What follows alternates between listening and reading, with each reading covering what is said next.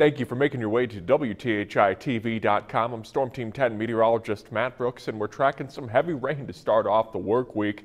We're going to dive right into the Storm Team 10 Futurecast. We'll start off at midnight.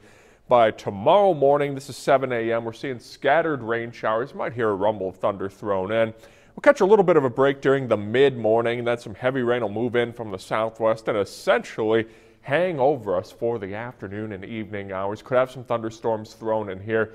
They look non-severe for the moment. Of course, Storm Team 10 will keep an eye on that for you. Some lingering showers possible into Tuesday morning.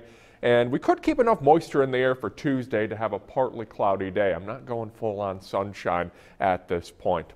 As far as rain potential goes, between tonight and tomorrow night, we're looking at anywhere from an inch to more than two inches of rainfall. So there is going to be some ponding on the roadways and flooding in low-lying areas. So keep that in mind as you travel for Monday morning and come home for Monday evening.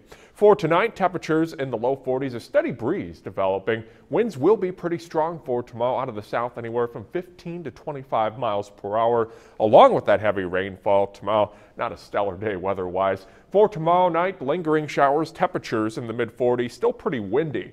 In your Storm Team 10 seven day forecast, temperatures remain in the 50s through Wednesday, and then we trail off into the low 40s toward the end of the work week.